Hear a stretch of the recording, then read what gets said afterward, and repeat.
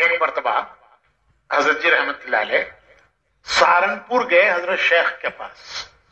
शेख उल हदीस मौलाना जकरिया साहब रहमत के पास। अक्सर जाते रहते थे। शेख उनके उस्ताद भी थे, खुसर भी थे।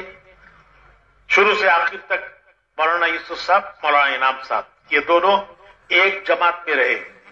इब्तदाई जमात से लेकर आखिर दौरे दौरे तक। और दोनों हज़रत शेख के दामाद तो उस्ताद भी और शेख शेख भी, उस्ताद भी और खुसर भी। तो अक्सर जाते रहते थे। तो एक मरतबा शेख ने हज़रत जी मौलाना इनाम हसन साहब रहमत से पूछा कि मौली इनाम मौली इनाम मौली इनाम पुकारते थे। और शेख जरा जल्दी जल्दी बोलते थे, मौली इनाम मौली इनाम, तुम्हारे हज़रत जी बनने से क्या फ़र्क हुआ? तुम हज़रत जी बन गए, इतने बड़े बन गए, सारी दुनिया के अमीर बन गए। जब आदमी किसी बड़े अहदे पर पहुँचता है तो उसके अंदर एक तब्दीली आ जाती है, बदल जाता है तो शेख का उस तरफ़ इशारा था कि तुम इतने बड़े हो गए, क्या तब्दीली आई? तो हज़रत ने फरमा अर्ज़ किया कि हज़रत, पहले हमारी एक राय होती थी। हज़रत जी की राय बड़ी मज़बूत राय होती थी। हमने अपनी आँखों से देखा है कि मौलाना यूसुफ साहब रहमत कोई चीज़ हज़रत मौलाना इनाम साहब के मशवरे के बगैर नहीं तय करते थे। कोई बात, मशवरे में आने में जरा सी ताखिर हो गई मौलाना इनाम साहब को। तीन तीन आदमी जाते बुलाने के लिए।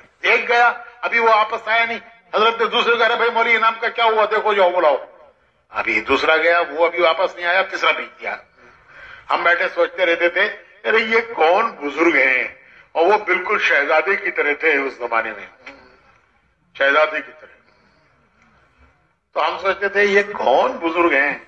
ना बयान करते हैं ना दुआ करते हैं। उस जमाने में वो बयान भी नहीं करते थे बड़ा इनाम साहब। तो ना बयान करते हैं ना दुआ करते हैं पान पान खाते रहते हैं बैठे रहते हैं। और ये मौलाना यूसुफ साहब इनका इतना ख्याल करते हैं कि बगैर इनके कोई बात तय नहीं करते। तो मौलाना यूसुफ साहब ने एक मरतबा इस, इसको वाजे किया। फरमाया कि देखो जितना इन्होंने मौलाना इनाम मौलाना इनाम साहब ने जितना इन्होंने मौलाना इलियास साहब को सुना है उतना मैंने नहीं सुना। कि जितना इन्होंने मौलाना इलियास साहब को सुना है इतना मैंने नहीं सुना। कि मौलाना इलियास साहब उनके साथ ये मौलाना इनाम साहब साए, साए की तरह लगे रहते थे। साए की तरह। जिस तरह आदमी का साया आदमी से जुदा नहीं होता उस तरह ये साए की तरह मौलाना इलियास साहब के साथ लगे रहते थे। मेरा शौक इल्मी था। होबे पढ़ने पढ़ाने में, लिखने में, किताबें लिखने में, पढ़ने पढ़ाने में मैं अक्सर वक्त लगा लगा रहता था। और ये बोली इनाम साहब, ये हमेशा साय की तरह मौलाना इलियास साहब के साथ लगे रहते थे। तो उन्होंने जितना उन्होंने मौलाना इलियास साहब को सुना है, इतना मैंने नहीं सुना। इसलिए मैं कोई काम इनके मशवरे के बगैर नहीं करता। ये होते हैं बड़े। तो शेख ने हज़रत से पूछा कि मली साहब, मली इनाम, तुम्हारे हज़रत जी बनने से क्या हुआ? मतलब ये कि तुम इतने बड़े हो गए, पूरी दुनिया पूरी दुनिया तुम्हारी मानती है। पूरी दुनिया तुम्हारी तरफ़ रुजू करती है, पूछती है, मानती है। तो आदमी जब बड़ा हो जाता है तो उसके अंदर एक तब्दीली आ जाती है। तो तुम्हारी क्या तब्दीली आई?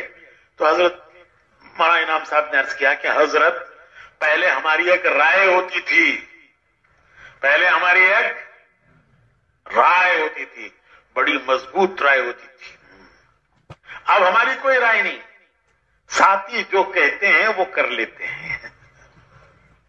पहले हमारी भी एक राय होती थी, अब हमारी कोई राय नहीं है। साथी जो कहते हैं, वो वो कर लेते हैं। और ये बात कोई बनावटी नहीं थी, वाकई थी। पचासों मरतबा हमने खुद देखा है कि कोई बात हज़रत से पूछी गई तो फरमाया वही मशरे में रख लो। कोई बात अपनी तरफ़ से नहीं कही। फरमाया मशरे में रख लो। और जब मशरे में कोई बात तजवीज हो जाती और अर्ज़ किया जाता कि हज़रत साथी, साथियों की ये राय है तो फरमाते कि अच्छा भाई, अल्लाह इसमें बरकत फरमाए। अच्छा भाई, अल्लाह इसमें खैर फरमाए। पहले फरमा देते मशवरे में रख लो। और जब मशवरे में कोई बात उस पर तजवीज हो जाती तो फरमाते, जब अर्ज़ किया जाता तो फरमाते अच्छा भाई